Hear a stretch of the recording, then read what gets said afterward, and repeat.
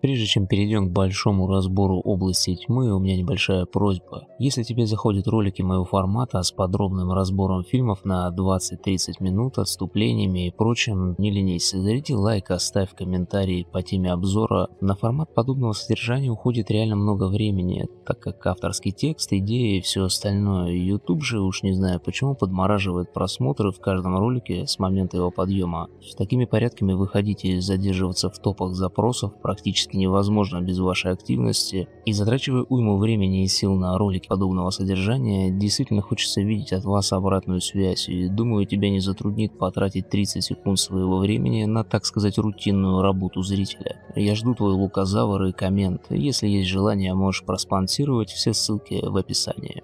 Что ж, поехали. В этом обзоре я покритикую фильм «Области тьмы» в плане некоторой сюжетной составляющей. Так же, как это ни странно, без критики не останутся и логические, на первый взгляд, действия Эдди Морры под действием НЗТ. Будут затронуты некоторые особенности работы нашего мозга, но самое главное, я постараюсь обличить и подвергнуть критике, пожалуй, основную идею фильма, ради которой я все и затеял. Она крайне искусно вплетена в сюжет, так что ее даже не замечаешь на первый взгляд. Очень незаметно вкладывается в голову зрителя, и именно из-за развития сюжета в сторону этой идеи, данная картина, на мой взгляд, не стала тем, чем она могла бы стать.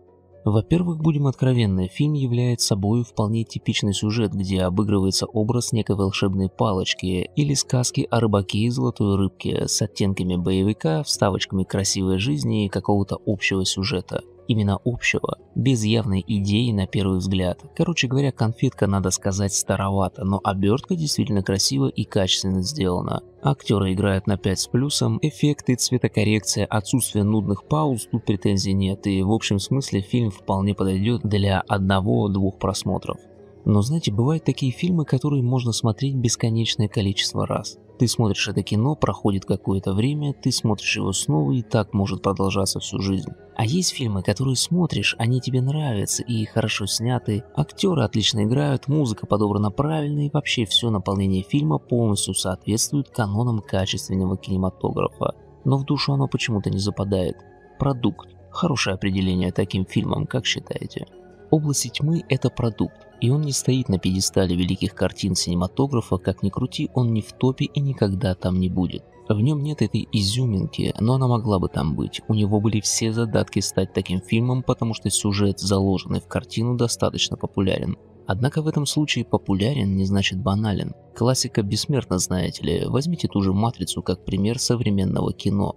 Ведь если присмотреться, и области тьмы, и матрица – это все сюжеты о нашем понимании реальности и своих возможностей, а следовательно и влиянии на нее.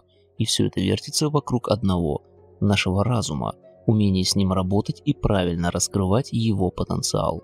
И в своей изначальности сюжет о повышенных взаимодействии с реальностью не банален, потому что наш разум – это нечто нами же непознанное. Интересный парадокс, верно? Мы не знаем, кто мы, и поэтому не знаем наших возможностей. Мы не знаем наших возможностей, и поэтому не можем до конца понять, кто мы. Ведь именно наше представление о себе и делает нас теми, кем мы являемся, понимаете? Разум как вода. В какой сосуд зальешь, ту форму и примет. Вчера ты нищий писатель, завтра губернатор, сегодня программист, а завтра Нео. Итак, часть первая. Как работает наш мозг? Так вот насчет разума. Волшебная палочка, золотая рыбка, НЗТ-48 – все это из одной истории. История о том, как человек хочет возвыситься над законами этого мира, подобно сну, который в какой-то момент стал осознанным и из разряда доминирующего над тобой перешел в разряд полностью подчиненного. А что это означает? Все просто. Это означает свободу. Но что есть свобода? Чтобы ответить на этот вопрос, нужно понять, с чего она начинается. Свобода начинается со свободы собственных мыслей, продолжается свободой слова и заканчивается свободой действий. Собственно, ограничение свободы распространяется на те же условия. НЗТ прокачивает твой мозг в том числе и прокачивает твой контроль над мыслями, и это логично, ведь согласитесь, нельзя быть свободным от того, кто воздействует на тебя без твоей воли и неконтролируем тобой. А более точно сказать так, степень твоей свободы от данного объекта равна процентному соотношению относительно твоего контроля над этим объектом. Чтобы было более понятно, представьте, что вы готовите борщ, и некоторые ингредиенты попадают в кастрюлю без вашего на то желания. Что произойдет с блюдом? Оно испортится, верно? И вот после принятия волшебной таблетки 100% мыслей переходит в разряд подчиненных и контролируемых. Ни одна мысль не может проникнуть в тебя без твоего осознанного согласия, а те, что проникают, выстраиваются в правильную логическую цепочку. Они становятся как блюдо, приготовленное великим поваром, все ингредиенты подобраны идеально. Идеально отточены движения мастера, время, последовательность, температура и так далее. Все совершенно. Также нельзя не упомянуть тот факт, что помимо контроля ингредиентов, которые закидываются в наш котелок, есть еще одна важная деталь. А именно то, что наше умение складывать информационные пазлы, взятые из окружающей нас действительности, просто ничтожное. Если сопоставить всю информацию, которой когда-либо притрагивался наш мозг, с той, которую мы можем эффективно обработать в настоящий момент и ограниченный период времени, то, думаю, вы сами понимаете, что цифра получается просто смешная. То есть в некотором смысле одна из основных проблем нашего взаимодействия с информацией заключается в крайне низком объеме памяти и скорости обработки ее содержимого.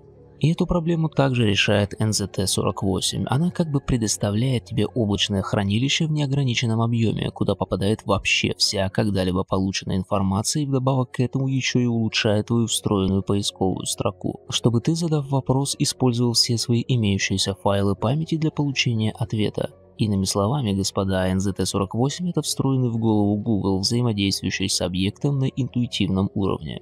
Главный герой Эдди, который по сути есть отражение большинства людей этого мира, а именно человек без денег, целей, настроения и прочего, объелся колес и стал неким супермозгоменом, для которого нет ничего невозможного – и знаете, НЗТ это слишком круто. В некотором смысле создатели сюжета переборщили. Я еще могу простить активацию Майка Тайсона в метро или обучение пианино за три дня, но выучить язык, услышав его только краем уха, это прям слишком круто. Хотя надо отдать должное, это подано настолько умело, что без тщательного просмотра совершенно нет ощущения некой сверхфантастичности происходящего.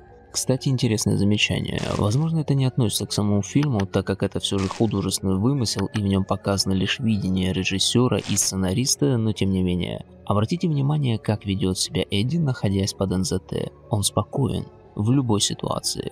Твой процессор в голове не перегревается, и это помогает тебе мыслить максимально рационально, понимаете? Вероятно, наш мозг – это некое подобие процессора. Когда шалят нервы, мы вроде забиваем его вероятностями и с кучей бесполезной информацию, которую не можем обработать и выстроить в нужную логическую цепочку.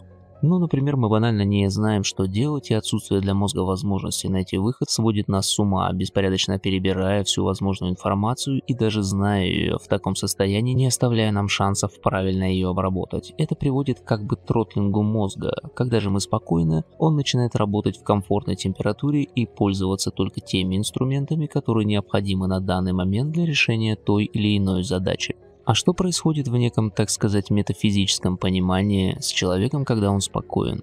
С чем можно сравнить спокойствие применительно работы мозга? С чистотой. Слышали такое выражение «мутить воду»? Так вот, ворох мыслей, который превращается в беспорядочный поток и мешает мозгу увидеть картину ясно, по сути создается самим мозгом, вне зависимости от того, является ли мозг генератором мысли, как мы привыкли думать, или же лишь обрабатывающим проводником, который впускает в себя мысли извне, неважно. В том и другом случае мозг ответственен за контроль поступающей информации и ее обработки. А как мы знаем из компьютеров, которые, кстати, при тщательном рассмотрении, ну точь-в-точь -точь наше тело по всем его компонентам, когда мы чрезмерно нагружаем центральный процессор информацией, то он просто не вывозит все ее количество и не может правильно ее обработать. В некотором смысле мы как бы можем самостоятельно задодосить наш мозг. А наше как минимум подсознательное представление о так называемом максимальном самоконтроле идет бок о бок со состоянием спокойствия. Ну вспомните, например, различные изображения мудрецов или как в тех же фильмах показывают героя, которым необходимо настроиться и так далее.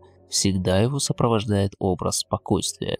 И вот именно в состоянии спокойствия мы можем активировать некое подобие фейс-контроля мыслей на подсознательном уровне, и только мысли определенной значимости согласно поставленной цели будут интуитивно поступать в наш разум. Вот это я понимаю самонастраивающийся механизм, как тебе такое, Илон Маск? Человеческий разум является просто невероятным воплощением кем-то созданного интеллекта, и именно правильное понимание того, что находится у нас в голове, может дать тот самый реальный скачок мышления и самопознания себя как личности и осознания своих возможностей. И в этом я на сто процентов согласен с Эдди, когда он говорит «я чувствовал себя чистым». потому что это совершенно логически верно. Ведь если мы посмотрим на всякий отлаженный и чистый механизм, он всегда работает так, как нужно. Кстати, заметьте, таблетка в фильме тоже совершенно прозрачная, без каких-либо примесей, такая же, каким она делает мозг. Вероятно, создатели сделали ее дизайн таковым, исходя из подобных соображений. Ну и перед тем, как закончить часть обзора относительно работы мозга и перейти к критике сюжетной составляющей, а далее, так сказать, к изюминке фильма, нельзя не заметить то, что посмотрите, как люди притягиваются к эрудированному и развитому человеку. Концепция чистого сознания, то есть не пей, не кури, занимайся спортом, будь воздержанным и чистым. Вот это хорошая мотивация в фильме. Часть вторая. Критика. И вот теперь давайте немного пройдемся по критике нашего новоиспеченного мозгомена, который, несмотря на возможность учить языки за секунду, освоить рояль и написать бестселлер за 4 дня, совершает при всем при этом совершенно какую-то откровенную дичь. Например, объясните мне одну вещь, как настолько умный парень смог догадаться связаться с откровенным жульем и взять в долг 100 штук зелени? Помните, он нашел пачку долларов у своего Шурина. Кстати, об этой пачке. Посмотрите на обыск у Верна. Одну колонку вообще не тронули и не посмотрели в плите. Ну, серьезно. Ладно, спишем это на грехи фильма, однако Эдди плюс деньгам Шурина должен был получить остаток гонорара за книгу, и к тому же он вроде как нехило поднял деньжат в казино. Так как так получилось, что у него такого умного парня в тот момент, когда ему пришла та самая идея, оказалась на кармане 800 долларов. Вы можете вспомнить, куда по ходу сюжета наш новоиспеченный гений потратил один из основных ресурсов современного общества, имея, как мы уже поняли из фактов выше, достаточно много зелени. Это уже, знаете ли, не вкладывается в некий предел разумных поступков гения современной мысли, как считаете, взять и остаться с 800 баксами. Какой-то бред. Ну ладно, покатался на машине и сводил девочку в кино, хорошо, но дальнейшее распределение финансовых потоков тоже выглядит как-то зашкаливающе глупо, и для того, чтобы это понять, достаточно простейшей математики. И дабы не быть голословным, давайте немного посчитаем. С помощью последних 800 долларов верно я сделал 2000 за один день. На следующий день 7,5 тысяч. А это было слишком медленно. Эдди начал торговать с 800 долларов и за день сделал 2500, затем 7,5. Следовательно, еще на следующий день он сделал бы около 20, затем еще день около 50 и далее больше 100. Итого он сделал бы сотню в последующие три дня. А теперь, внимание, вопрос. Вы бы стали брать у бандита 100 штук взаим, если бы смогли сделать их за 3 дня? Да тут хватит интеллекта зубочисткой, чтобы понять, что такая сотня совершенно ни к чему. Вообще вся эта история с бандитом сделана, на мой взгляд, не более чем для завязки и некого развития сюжета. Возьмем хотя бы миллион, я бы понял, но сто тысяч... нет, слишком глупо. Три или два дня времени явно не стоили всей этой заварушки. Как нам известно далее из сюжета, Эдди сделал 2,5 миллионов, начиная с 12 тысяч всего за 10 дней. С 12 тысяч до 2,5 миллионов за 10 дней. У меня есть формула, мистер Пирс. Так что сюжетная линия с бандитом явно провальная, причем не только в этом моменте, а вообще с какой ни посмотри стороны. Ну, возьмите хотя бы супердверь в бункере, которую взломали болгаркой, серьезно? Бандюган на НЗТ ничего не нашел умнее, кроме как вырубить охрану, которая находится прямо на ресепшене, и оставить их там же лежащими. В такой огромной высотке никто не входит и не выходит. Вы посмотрите, там здание этажей под сто не меньше, сколько же там живет народу? И записи с камер, где видно его оружие, его, конечно же, совершенно не интересует. Ну, в общем, сами понимаете, тоже достаточно провальный момент. А что же Эдди? Он, получается, находясь под НЗТ, выбрал место, которое в итоге особо не отличается от его номеров в отелях. У него даже телефон не ловил в этой пещере, типа бандит чё, глушилку поставил что ли? Или ты не просчитал подобный вариант, но при этом ты можешь предсказать аварию до ее столкновения? То есть ты тратишь такие деньжища на квартиру, где главное это защищенность, находясь в состоянии супермозга Мэна, и к тебе просто могут зайти три гопника с болгаркой и срезать твою дверь? Как-то, знаете, не очень похоже на действие человека повышенной степени активности мозговой. Ну и сцена с кровью, откровенно говоря, больше для общего эффекта, нежели для некой подобия реальности. Вот вы, скажем, выпив пару глотков крови в усмерть пьяного человека, как думаете, сильно бы опьянели? Ну вот и я о том. В итоге мы видим, что провальную со всех сторон историю с бандитом протащили в сюжет, а вот как раз таки правильное развитие сценария с побочками вообще обошли стороной. Можно же было развить намного более грамотный сюжет в эту сторону и осветить тему, скажем, с производителями таблеток и целью их броса в открытый мир. А в итоге Эдди встретил бывшую жену, которая, подобно бабе Яге, немного расстроился, но, как оказалось, выход есть, он быстренько его нашел и понял, как нужно правильно жрать НЗТ без последствий, что, к сожалению, убрало некую изначальную изюминку о том, что все в жизни не так просто, и сделало сюжет все большим похожим на какую-то детскую сказку. Вот как раз заменив бандита и развив более правильно линию именно с побочками, могло бы привести фильм не только больше реализма, но добавить в него направленную философскую мысль, которую можно было бы сделать основным посылом фильма, понимаете? Вспомните подобный сюжет о рыбаке и золотой рыбке. Она ведь тоже в некотором смысле НЗТ, исполняющая желание, но там есть, так сказать, мораль басни. В области тьмы же мы итоги имеем историю с кучей обожравшихся таких же среднемыслящих людей, как и Эдди, которые кто померли, кто в больнице, ну в общем полная печаль, беда. А наш главный герой один из всех взял и догадался как-то колесико подулучшить и вообще от негативных эффектов избавиться. Другим это в голову не пришло, несмотря на то, что они тоже были под НЗТ, ну в общем такое себе развитие сюжета. Далее нельзя не затронуть очень важную сюжетную часть Де Ниро – он вроде как в итоге разузнал про таблетки. Я купил Айбан пару месяцев назад. Странно, что ты это не слышал. И зачем ему Эдди? Прими одну сам и найдешь кучу вариантов, как заставить на себя работать хоть целый штат таких Эдди. В его руках ключ к разуму. Хватит одной таблетки, чтобы понять, как нужно действовать. Помните, как сказал Шурин Эдди? Эффект сильнее, если ты и так шаришь. И как раз Де Ниро, в свою очередь, приводит очень весовые доводы к тому, чтобы Эдди не становился его конкурентом, потому что без НЗТ он, по сути, малолетний сопляк и неудачник, в то время как персонаж Де Ниро – это явный хищник с невероятным капиталом, связями и, что самое главное, огромным жизненным опытом, который позволил бы выйти ему мозгу под НЗТ просто на какой-то невероятный уровень. Де Ниро, объевшийся таблеток, вот это действительно очень серьезный враг. Вот такую тему можно было и нужно было развернуть. Но почему мегамозг Эдди об этом не подумал? Почему не подумал, что раз он, типичный балбес, за год добился такого, то чего может добиться Карл или, к примеру, организованная группа под такими колесами? Ведь понятно, что таблеточки уже гуляют по миру. Существует не одна такая лаборатория, и вообще сюжет можно было раскинуть еще более массово. К примеру, раскрыть тему с какими-нибудь поехавшими химиками, которые хотят просто заполонить весь мир НЗТ, благодаря чему он вернется в интеллектуальный апокалипсис, ну или типа того. Согласитесь, сюжет намного более захватывающий, чем то, что мы в итоге увидели. Ну и в конце такая больше эмоциональная вишенка по части критики. Меня жестко убил момент, где дамочка Эдди врезала мужчине по голове ногами ребенка на катке, а папочка говорит дочке, ты в порядке?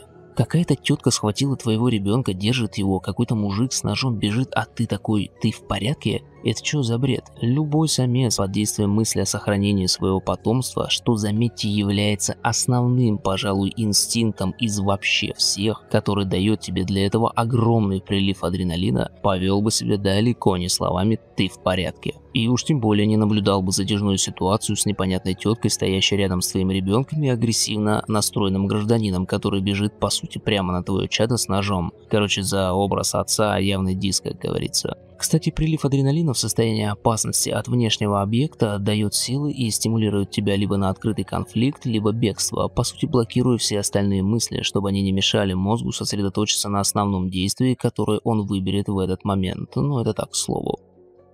Часть третья. Идея. Что ж, пора перейти к заключительной части обзора, к идее, которая, на мой взгляд, отравила вообще весь фильм, и на ней мы сейчас заострим свое внимание – это именно та идея, которая пришла в голову Эдди, когда он окунулся. Кстати, небольшая ремарка насчет окунулся. Это достаточно такой оккультно-религиозный момент, который часто используется в фильмах, когда хотят показать некое глобальное изменение в герое, очищение, перерождение и так далее. Вспомните того же Нео из «Матрицы», после того, как он вывалился из своей кабинки и стал, так скажем, свободным, он именно окунулся, то есть прошел обряд очищения – для мозга, я думаю, это сродни форматирования жестких дисков и установки новой версии оперативной системы. Так что там насчет идеи чем она плоха? Что пришло в голову Эдди? А действительно, представьте, вы обожрались волшебных колес и стали настолько невероятным, что ваши умственные способности уже слишком переваливают за красную черту относительно обычного человека – Ладно, пианино за три дня, бестселлер за четыре, хорошо-хорошо, я еще верю, но предугадать краем глаза аварию – это полный звездец. Просто остановите свою мысль на этом моменте. Понимаете, это мышление кардинально другого уровня. Я бы даже сказал новой ступени в эволюции. И вам не кажется, что для такого мышления цели тоже должны быть подстать такому уровню, более глобальными, что ли? Ну вот мы видим Эдди, и что ему пришло в голову? Бабло и политика. Губернатор, серьезно, из всех возможностей, открытых для тебя как распростертые руки, ты выбрал стать политиком? И вообще в контексте происходящего фильма звучит не совсем правильно. Вдруг я точно стал знать, что нужно делать. Правильнее было бы сказать, я понял, чего я желаю. Что делать он вроде и так знает. А знаете, честно говоря, не похоже на то, чтобы этот такой великий мозг сценариста или режиссера оставили для зрителя мораль сей басни вроде Кесарю Кесарева. И если ты изначально по природе алчный хрыч, то никакой НЗТ это не изменит. Нет, подобных намеков в фильме не оказалось. Но давайте к реальности происходящего фильма. Что для такого нового, не побоюсь этого слова, существа не нашлось другой цели? Вакцина от рака или другой болезни, научный мегапрорыв или, как он сказал, это не книга, это определенно не писательство, это куда более серьезно. Но это, знаете ли, смотря какая книга, ведь потратив на ее написание не 4 часа, а, скажем, пару месяцев или даже год, ты можешь написать шедевр, который просто перевернет сознание человечества. Я не знаю, можешь снять фильм, разгадывать невероятные шифры, послания, создавать музыку, которая будет жить вечно, черт возьми, ты можешь творить абсолютно все, и во всем будешь иметь успех. Неужели в детстве Эдди хотел стать политиком? Ты ведь можешь стать человекой легендой в прямом смысле этого слова, а ведь это мощнейший подсознательный человеческий инстинкт – оставить свой след в истории. Окей, в дальнейшем, как мы можем узнать, Эдди, возможно, захочет стать президентом, допустим, это и был его изначальный план, но разве он хочет это для какой-то великой цели? Да нет. Вспомните его пафосную и довольную морду в ресторане со своей девахой. Не особо видно, чтобы на его лице виднелись мысли о чем-то великом, беспокойстве о своей стране, народе и так далее. Нет. Это такой же обычный человек с обычными эгоистичными намерениями и потребностями. То есть вы хотите сказать, что при всех своих в прямом смысле суперспособностях Эдди не осознал собственную природу, не ответил на главный вопрос о цели существования и, что более важно, даже не задумался об этом, о том, откуда взялся этот мир, кто он такой и зачем, не осознал пагубность эгоизма и прочего, он не осознал ничего. Нам даже на секунду не дали возможность оценить его мысль в этом направлении, как будто она просто отсутствовала. Понимаете, в чем фокус? Но как же супермозг Эдди может знать, чего он хочет, если он даже не задумался о том, кто он вообще такой, на каком-то более глобальном уровне? И получается, что герой Де Ниро был прав. Эдди своим в кавычках даром просто красуется и дурачится, он не умеет пользоваться таблеткой. Он как был глупым ребенком, таким и остался. Зрителю в итоге скормили красивый с виду гамбургер с куском протухшего мяса внутри в виде сюжета с бандитом, глупым, но опытным Де Ниро, такой вот парадокс, и мыслью о том, что вот чего мы все хотим. Под мы я имею в виду того, кого отображает Эдди, как я уже говорил, это большинство. А хотим мы только одного – занять свое место под солнышком, вкусно жрать и сидеть в кожаном кресле с блондиночкой на перевес. Это дешевка, господа. Обычная стекляшка, поверхностного взгляда блестящая, как бриллиант, но приглядись чуть ближе, и станет очевидна вся ее суть. И это провал уже даже не столько в плане развития сюжета, а именно его изначальной сути, философского контекста, а точнее его отсутствия – на выходе при тщательном разборе мы наблюдаем третьесортное кинцо в очередной красивой обертке, которая просто напичкана совершенно типичными клише, типичным мышлением, типичными персонажами и совершенно типичным сюжетом, наложенным на классическую идею о волшебной палочке, которую данный фильм, как и многие подобные творения, не смог украсить новизной мысли, при этом не испортив проверенный временем рецепт. Суть в том, что когда ты пытаешься обыграть классику, у тебя как бы есть изначальный бонус. Он заключается в том, что изначальная идея уже хороша, и она дает тебе определенную фору, ведь тебе не надо придумывать основную идею, надо лишь ее красиво подать. Но она же сыграет для тебя в минус, если ты сам не так хорош, чтобы, как говорится, заставить сиять эту идею новыми красками. К примеру современности, мир Дикого Запада намного более грамотно подошел к вопросу интеллекта, хотя яды и туда навалили тоже прилично, но повторюсь, обыграли интерпретацию создания и поиска самоосознания вполне неплохо. Что ж, дорогие друзья, на этой ноте, я думаю, стоит закончить этот разбор области тьмы. Спасибо всем, кто досмотрел до конца, надеюсь, вам понравилось мое творение. Не забывайте о моем обращении в начале ролика, лукасы, комменты по этому обзору и поддержка – это то, что мне от вас нужно. Но я прощаюсь с вами, будьте чисты разумом и надеюсь, до новых встреч. Всем удачи!